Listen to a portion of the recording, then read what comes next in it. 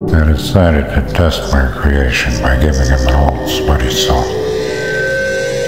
At first he was curious, but soon he became agitated. He didn't seem to know what the purpose of the sock was, what it was for.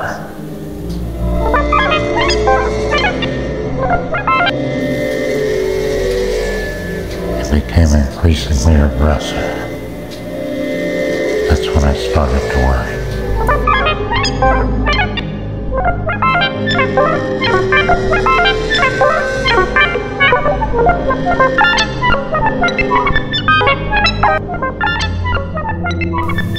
It was then that I asked myself, what had I created?